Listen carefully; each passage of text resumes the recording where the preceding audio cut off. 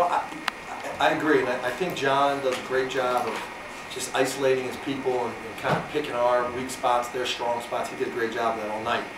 And uh, at the end, I felt we, we played great team defense. It, it wasn't. They were they were isolating us, getting us into one-on-one situations, and at the end, we let them do it. Not me. Our guys just started helping each other, started double teaming. Uh, you know, so we didn't get in those one-on-one situations. I thought that made a big difference down the stretch.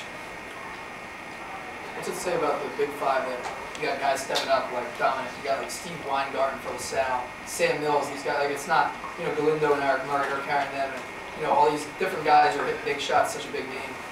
Well, I think these games, um, these games create so much emotion in, in everyone that um, when you're on the bench in these games, you're not relaxed. You're kind, you're sweating. You're into. So when you come off the bench, you're ready to go.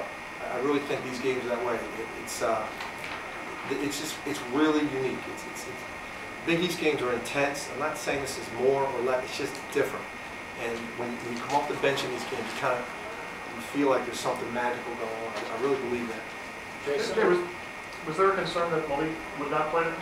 Yeah, he, he didn't, he wasn't, we had to uh, determine whether the, if, if, if, the pain in his head was from the, the big bump he had or if it was a headache. He, he wasn't really great at describing that, so we, we sided on the, uh, on the side of caution. And it turns out he's got a big, big lump, and then that hurts, you know. But he didn't have a headache in the front of his head, we worried about concussion of it. So he didn't practice till yesterday, and kind of easy with him yesterday. With the last five minutes or so, what does it say about the team's resiliency to be able to come back and, and take the lead and the game? I'm proud of that, and, and, uh, and- and this team needed to do that together. Um, You know, we got Scotty Reynolds, you know, and Reggie Redding. You know, Reggie, everybody knows Scotty made a lot of big plays for us, and, but, you know, there was a play in Madison Square Garden, Reggie Redding took the ball at the end of the game line, made a pass to Dwayne Anderson to win a game against Marquette. Reggie Redding made a lot of big plays for us in the end, over his career.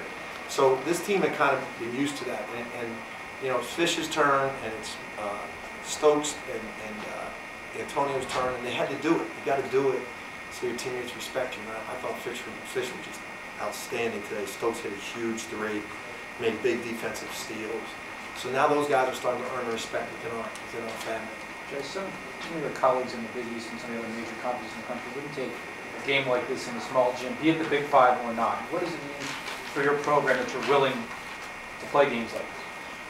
Well, one of the things we try to say about our program is we don't try to be like, you know, Duke or North Carolina, or anybody, or anybody. We, we just try to be the best Villanova we can be. And one of the unique things about Villanova is you get to play in the Big Five, and it's a, it's a positive. I mean, come on, you, everybody sees it. You're not, you're going to go play. Where are we going to play? Name Pitt. It's not going to be any crazier than that, and it, it, it's not going to mean more to Pitt than it means more to La Salle. So we look at that as a positive, and, we say, like last year, you know, the Temple game, we we were riding high. That they beat us, and, and that kind of woke